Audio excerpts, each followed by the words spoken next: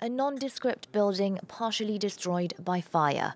After describing it as a simple industrial shed, now Iranian authorities suggest the single story building had a much more important role within Natanz nuclear compound. The incident could slow down the development and production of advanced centrifuges in the medium term. Iran will replace the damaged building with a bigger one that has more advanced equipment.